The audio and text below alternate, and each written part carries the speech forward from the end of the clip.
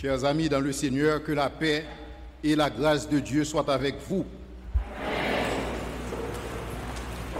Si je vous demande quel est le verset principal du livre des juges, il est évident que vous répondriez, en ce temps-là, il n'y avait point de roi en Israël et chacun faisait ce qui lui semblait bon.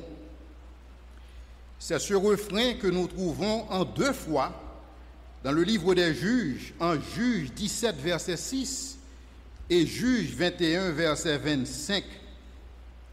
Puisque ce texte se répète deux fois dans ce petit livre, il est évident que c'est un texte très significatif.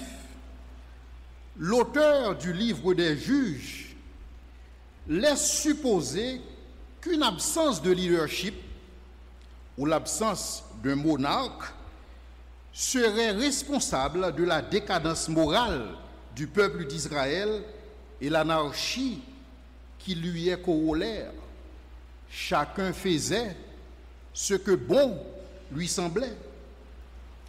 Ce n'est pas la première fois que l'homme redéfinit la moralité à sa façon. Depuis le Jardin d'Éden, Adam et Ève ont exprimé le désir de définir par et pour eux-mêmes ce qui est bien, ce qui est mal, et ceci en dehors des prescriptions divines. En redéfinissant le bien et le mal de manière relative, il est facile de se perdre, car il n'existe plus de standards, il n'existe plus de normes pour effectuer une comparaison objective. Or, il se trouve que certains pensent que nous vivons dans une société postmoderne. Et dans une société postmoderne, l'objectivité n'existe plus. Il n'est plus possible d'être objectif parce que nous sommes si conditionnés par la nature et par la culture. Et c'est ainsi que l'homme devient la mesure de toutes choses. À chacun sa vérité, à chacun son interprétation de la réalité.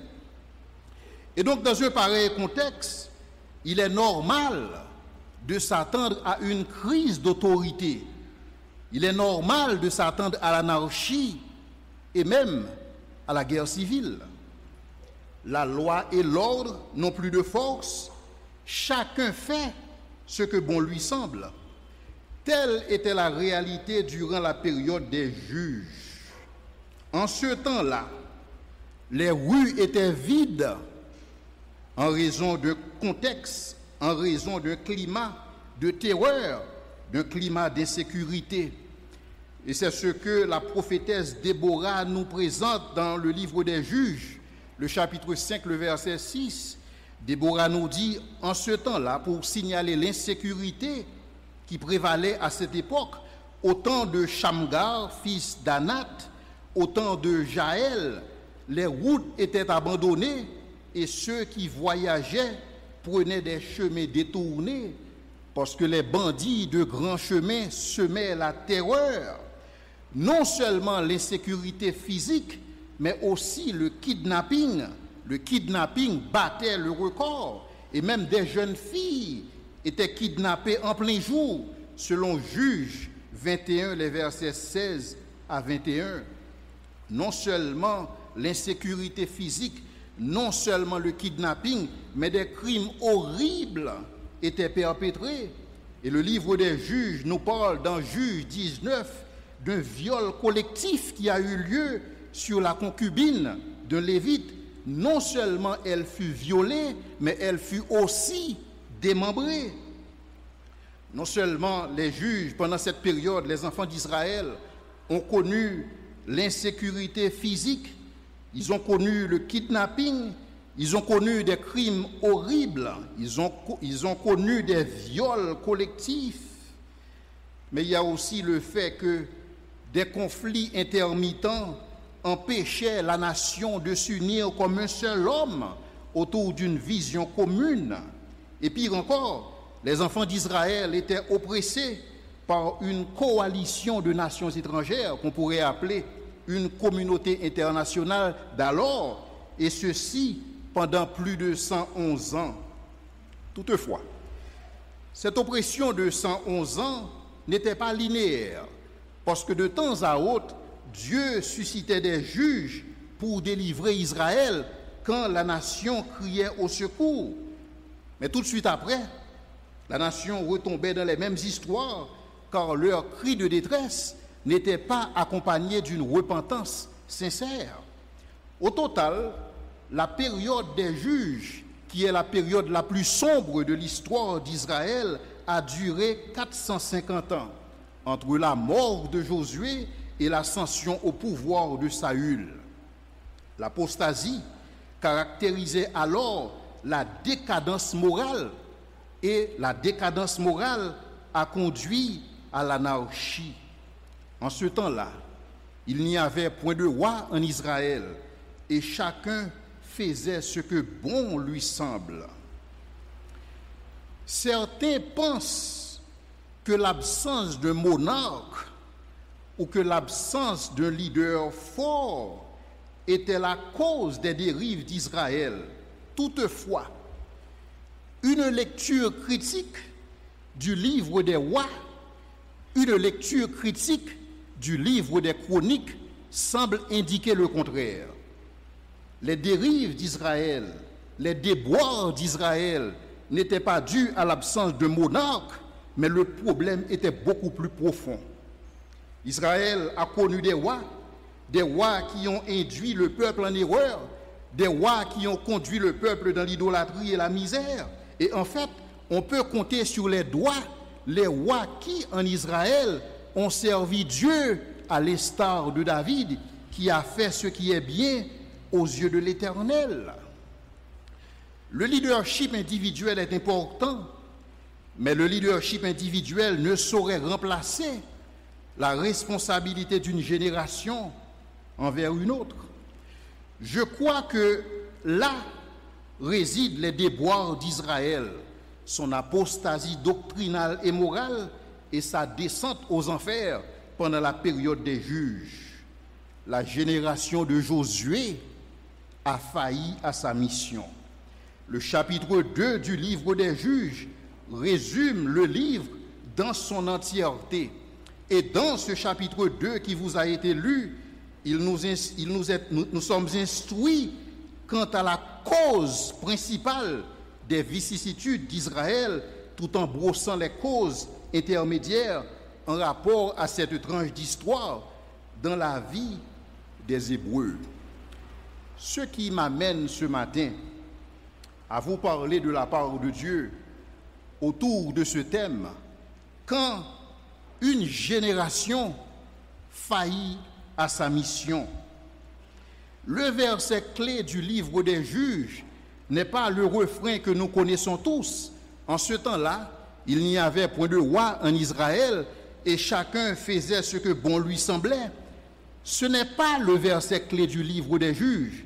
Le verset clé du livre des juges, nous le trouvons dans le chapitre 2 au verset 10, où il est dit, toute cette génération fut recueillie auprès de ses pères. Écoutez bien. Et il s'éleva après une autre génération qui ne connaissait point l'Éternel, ni ce qu'il avait fait en faveur d'Israël. Voici le verset clé du livre des juges. En ce temps-là, toute cette génération fut recueillie auprès de ses pères. Il s'éleva une autre génération qui ne connaissait point l'Éternel, ni ce qu'il avait fait en faveur d'Israël. Chers amis, je vous invite à imaginer avec moi. Essayez d'imaginer une génération d'Hébreux qui n'a jamais entendu parler de ce récit épique que leurs ancêtres ont traversé la mer Rouge à main forte et à bras étendus, à pied sec, à main levée. Imaginez-vous une génération d'Hébreux qui n'a jamais entendu parler de ce récit épique. Et cela sous-entend que cette génération n'a pas ouï dire que leurs ancêtres furent délivrés de la main de l'empire tyrannique des Égyptiens et que ce faisant, Dieu a mis à genoux tout le panthéon tutélaire des dieux égyptiens.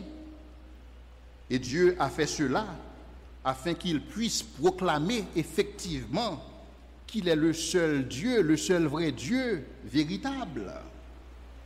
Je ne sais pas si vous avez vu Les Dix Commandements, ce film de Charles Stone et j'aime ce passage dans ce film quand les Égyptiens ont péri dans la mer Rouge avec leurs chevaux, leurs chariots et leurs cavaliers. Et quand Pharaon, de retour sur son trône, Pharaon, après avoir subi cette défaite, il proclama l'Éternel en disant, leur Dieu est Dieu. Donc Pharaon a reconnu que les dieux des Égyptiens, les dieux du panthéon des Égyptiens n'étaient pas véritablement des dieux, mais cependant l'Éternel est Dieu, leur Dieu est Dieu, et Dieu a fait cela pour que les Israélites sachent que les démons qui se font passer pour des dieux tutélaires, les démons qui se font passer pour des dieux bienfaiteurs, les dieux des nations, ne sont pas comparables à lui.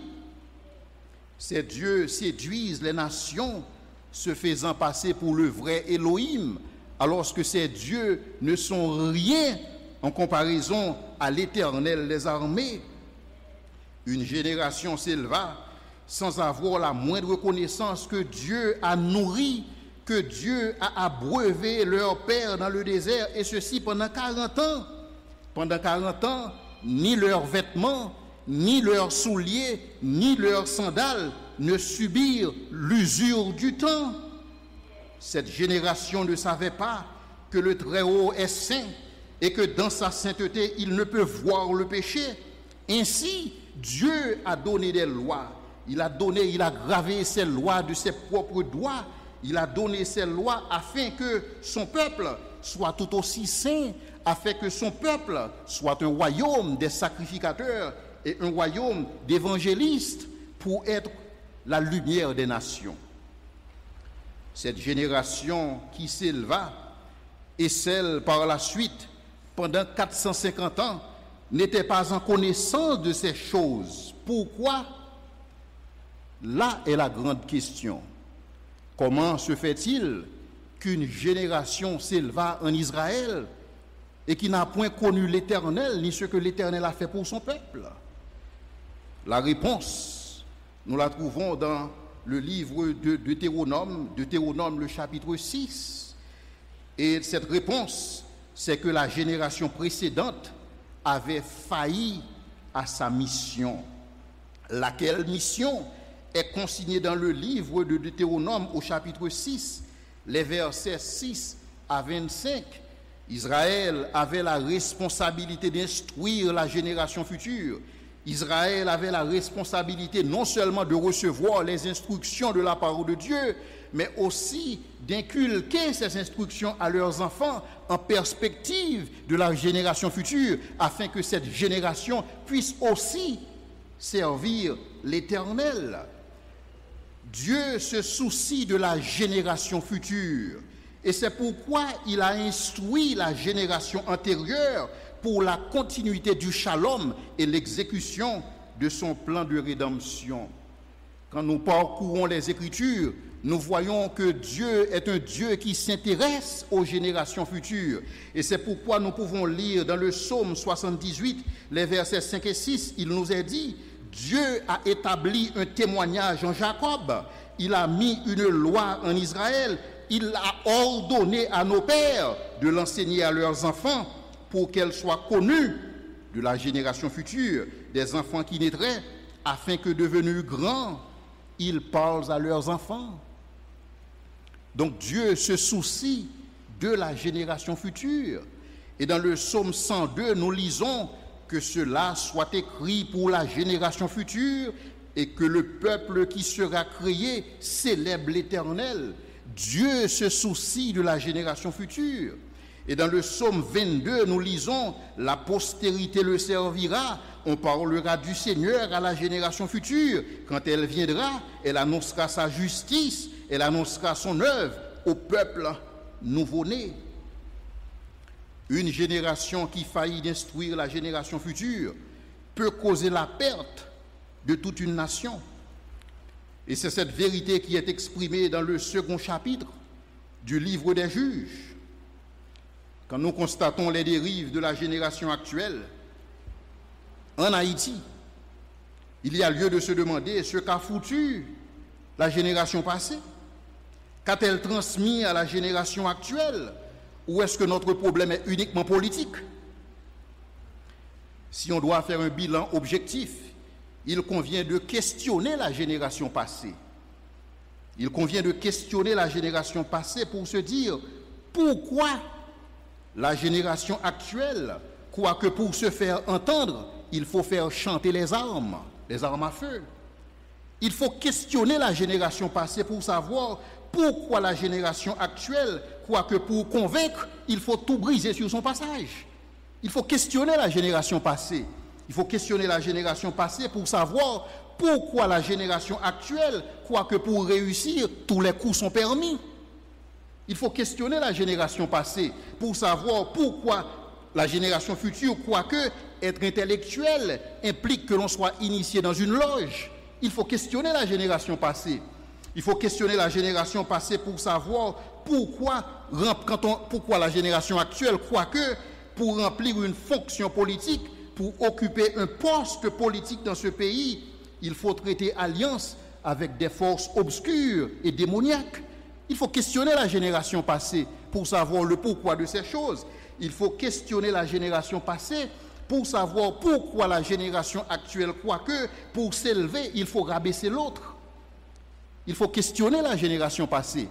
Il faut questionner la génération passée pour savoir pourquoi la génération actuelle, quoique rendre service peut être cause de chagrin. Il faut questionner la génération passée.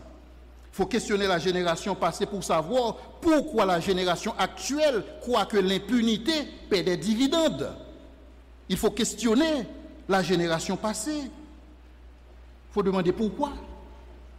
Pourquoi? Chers amis, j'ai bien peur que nous sommes la cause première de tous nos malheurs dans ce pays. Israël a payé les conséquences de son irresponsabilité vis-à-vis de la génération future, et cela pendant longtemps, pendant très longtemps. S'il est vrai que de temps à autre, Dieu suscitait un juge pour les sortir de l'impasse, mais ce n'était que du saupoudrage, parce que le mal était déjà consommé. C'était déjà consommé, et Dieu, chers amis, il ne peut pas, il ne veut pas nous épargner des conséquences de nos choix libres.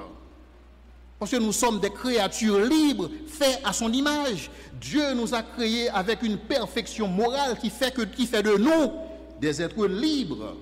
Et dans ce contexte, nos idées, nos choix, nos actions ont des conséquences cosmiques, non seulement pour nous autres, mais pour tout le reste de la population, pour les générations futures.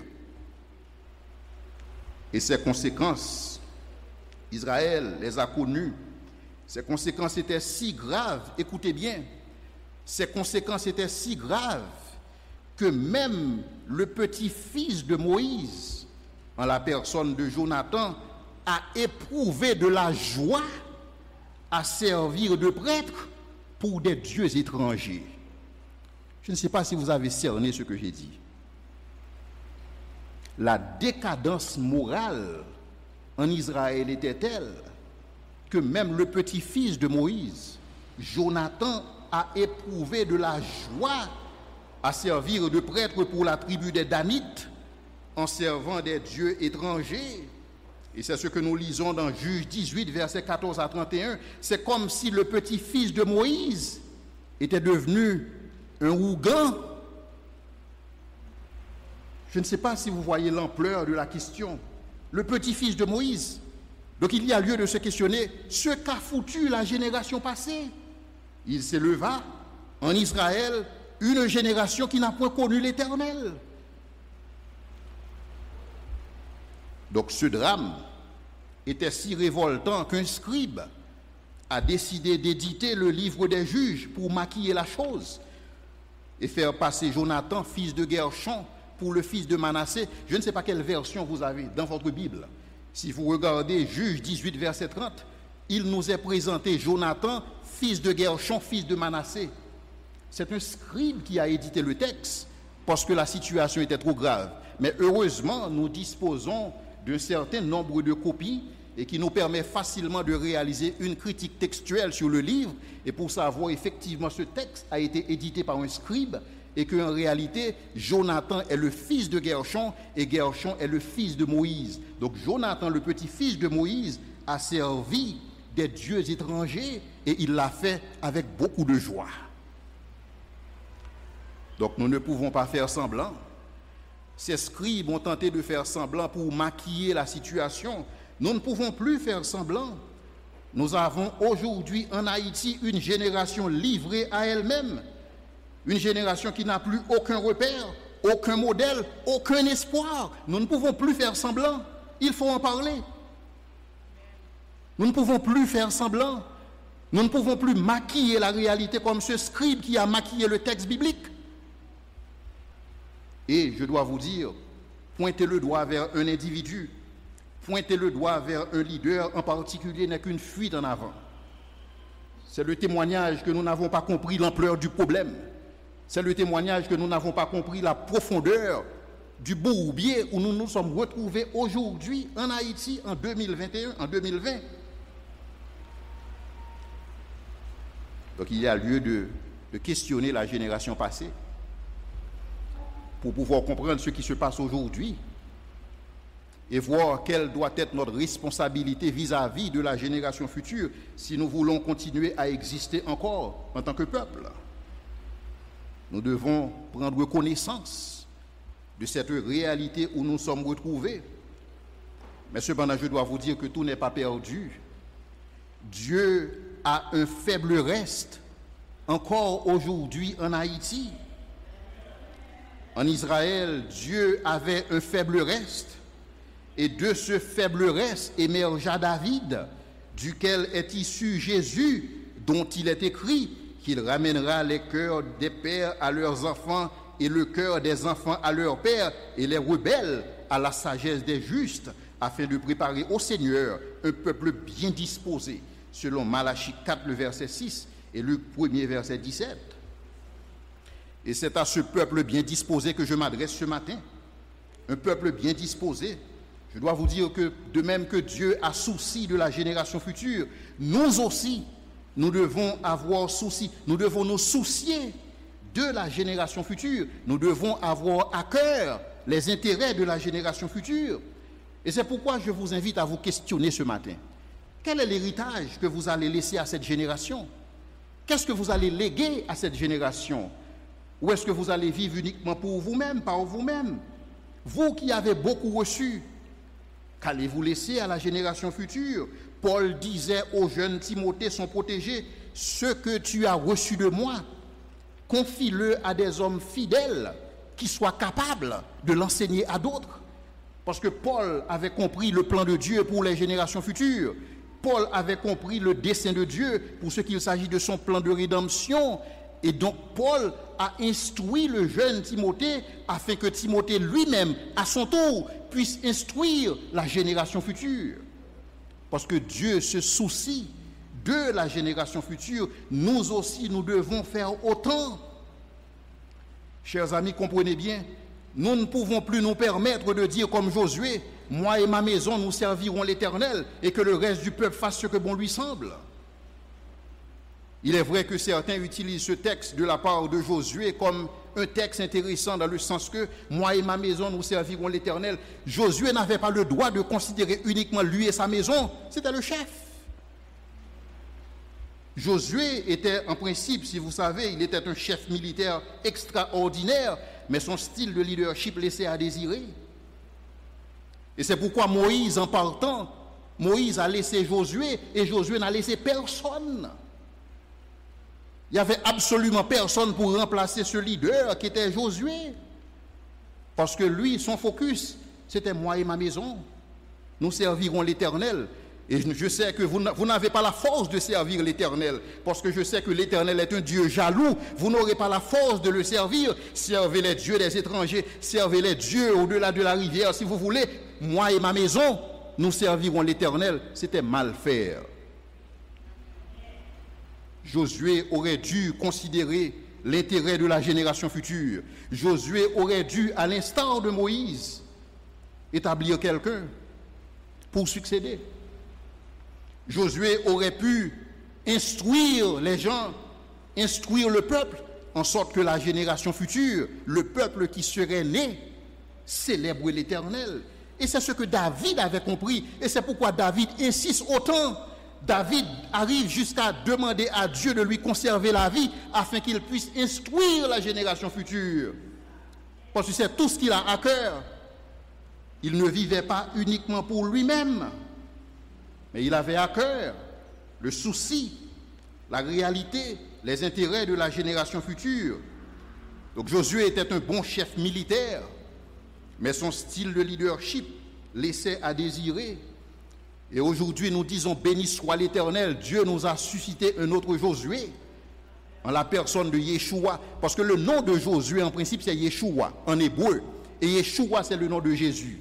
Donc on aurait pu appeler Jésus Josué. Dieu nous a suscité un autre Yeshua. Dieu nous a suscité un autre Josué et qui, lui, nous donne le repos véritable. Parce que l'ancien Josué ne pouvait pas nous donner le repos parce qu'il n'a pas fait ce qu'il devait faire vis-à-vis de la génération future. Mais Dieu nous a donné Jésus qui nous donne le vrai repos. Et lui, il nous a tracé la voie. Et ce faisant, il nous a dit de faire des disciples. Et le fait pour nous de faire des disciples, c'est parce que nous avons à cœur la génération future. C'est pourquoi nous faisons des disciples. Et c'est pourquoi il nous a envoyés, comme le Père m'a envoyé, moi aussi, je vous envoie faire des disciples. Et c'est ce que nous devons faire. Nous devons nous investir dans cette génération actuelle en perspective de la génération future. Et c'est ainsi que nous pourrions adresser ce problème chronique et qui sévit en Haïti. Et c'est ainsi que la génération future n'aura pas à questionner ce que cette génération a foutu. Parce que nous avions, parce que nous aurions laissé un héritage, un peuple bien disposé pour la gloire de Dieu. Je prie que le Seigneur vous bénisse dans cette œuvre. Et je prie que, à l'instar de Paul qui disait, soyez donc mes imitateurs, parce que moi j'imite Christ. Chers amis, nous avons cette responsabilité de parler de la sorte. Il ne convient pas que Paul soit le seul à pouvoir dire, soyez mes imitateurs. En tant que chrétiens, nous avons cette responsabilité de parler à cette génération actuelle et de leur dire, soyez mes imitateurs, comme moi aussi, je suis l'imitateur de Christ. Que le Seigneur vous bénisse.